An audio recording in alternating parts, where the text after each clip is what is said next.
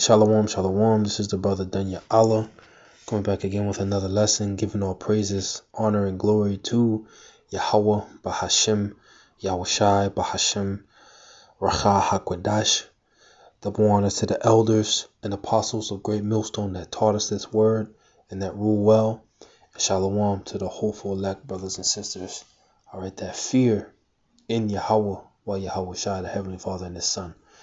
And um, you know, I was just watching uh, a live stream that you know that was uh, just on not too long ago. It ended like two minutes ago. Uh, with the brothers in Dallas, you know, uh, you know the the Apostle Racha, you know, Elder Ariella, Yashawamba, you know, and you know, beloved brother, uh, um, your one, you know, that uh, you know, uh we used to uh, teach with up here in uh, Pittsburgh.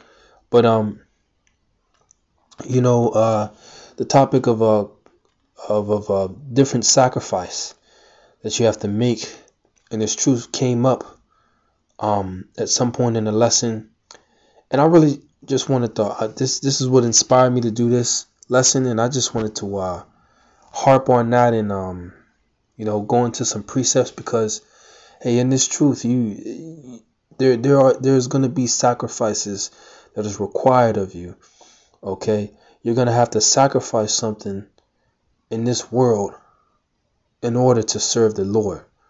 And that's really the condition of the battle all right? You're going to have to sacrifice your time your resources the things that you hold dear to yourself. You're going to have to sacrifice them in order to serve the Lord, right? Thus making the Lord your top priority. And that could be a whole range of things, man.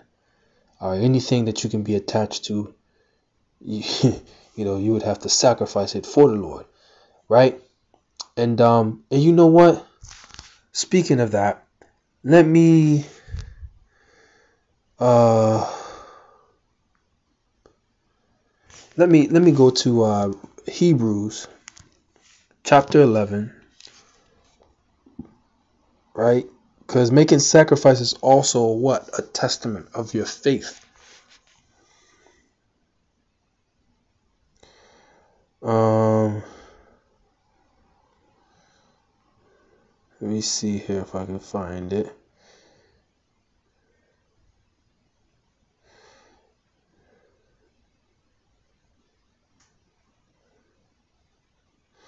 Hebrews chapter 11, and this is all talking about faith. In verse 17, it says, By faith, highlight that, by faith, Abraham, when he was tried, meaning when he was tested, the Most High put our forefather Abraham through a very serious test. Offered up Isaac. Now, who, who was Isaac unto Abraham? His son.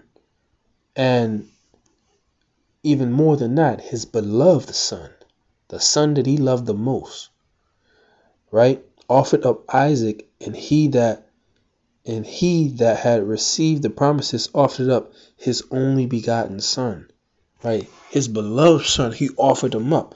The Most High said to sacrifice him unto him. And that was a test. The Most High wanted to see was our forefather Abraham, was he was he down? Right?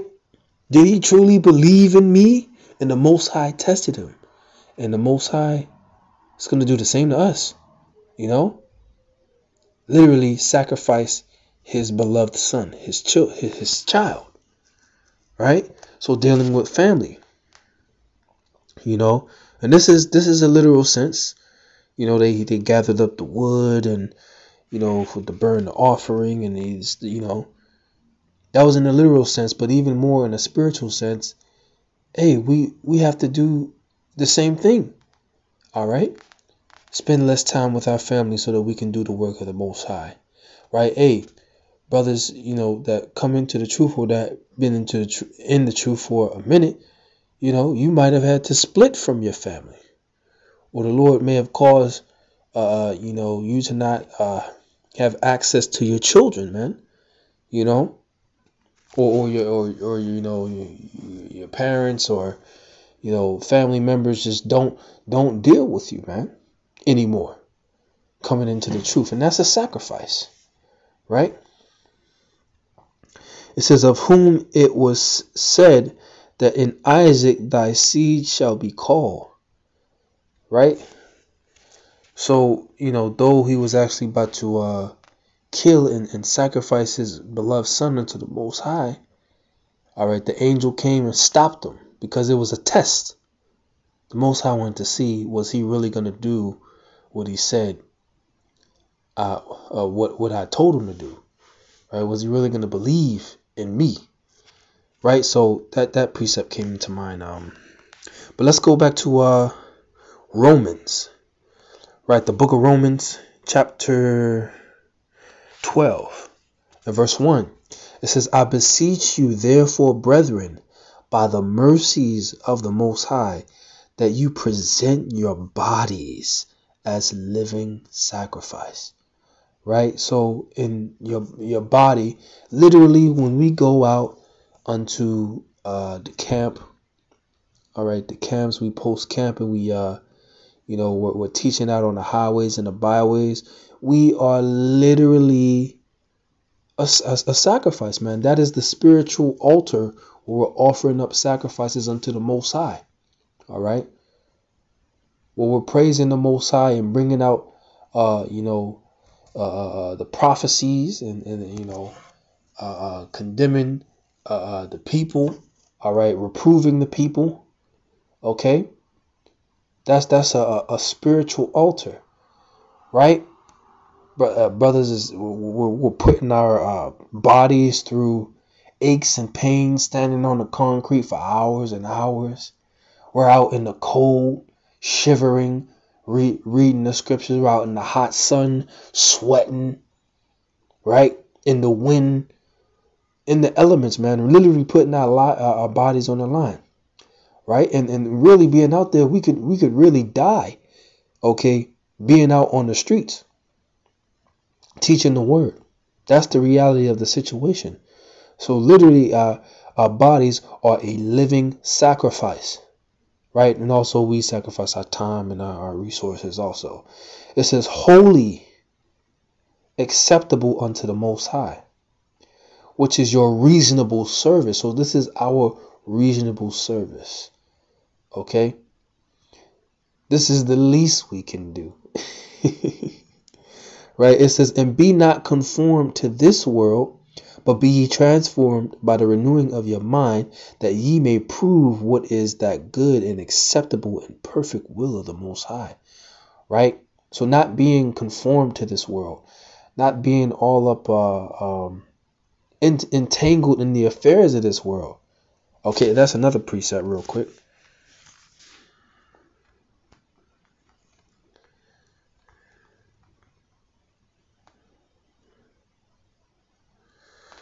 Let me see. Let me just type in affair.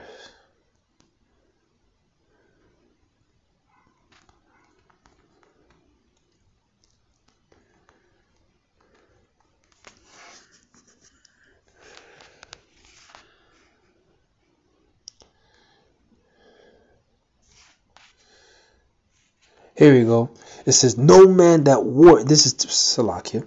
This is Second Timothy's chapter two, verse 4. You know, I'm getting ahead of myself. I'm a little excited.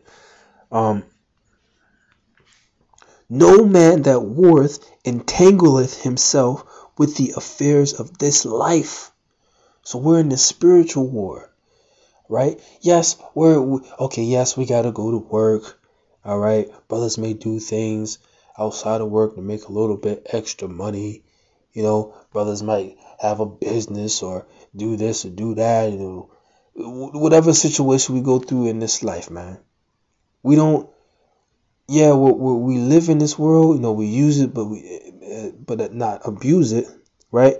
But we don't get entangled in this stuff, man. We don't get entangled in the different things that go on here in this wicked kingdom, man.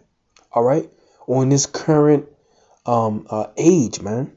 We don't entangle ourselves in it because what? Our minds are focused on what? The, the things that are to come, the kingdom to come, the new age, the age of the Israelites, the age where Yahweh Ba'ashim Yahushai has order established upon the earth. So we don't entangle ourselves in the affair of this world. It says, uh, No man that warreth entangleth himself with the affairs of this life, that he may please him who have chosen him to be a soldier. Right? Part of being a soldier is being a soldier goes back to uh, a solitary, right? Also, uh, the the uh, um, solitary, and also uh, I believe goes back to the word uh, solid. Also, right? Solid like a rock, you know. But a soldier is, is solitary, man. He's on his mission by himself, right? It says, and if any man also strive for the masteries, yet is he not crowned except he strive lawfully? Right? So striving for the masteries of you know the truth, man, the scriptures. You know, and that's that in this truth. That's what we're striving for. The men All right, for the masteries, man. Right? Right, so we don't entangle ourselves in the affairs of this world. Now, back on, you know, into sacrificing, hey man, you know, the different things that we sacrifice here in this kingdom, all right, there's going to be great reward for it too, man, because we sacrifice it for the Lord. And the Lord's going to give us what? A hundred times more of all the things that we sacrifice. You know, um, let me grab this.